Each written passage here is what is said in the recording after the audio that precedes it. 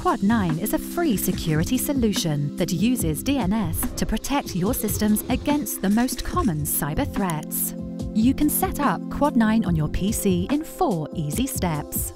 Step 1. Open Control Panel. Select Network and Internet, and then select Network and Sharing Center. Click Change Adapter Settings on the left pane. Step 2. Right-click the network interface connected to the Internet and select Properties.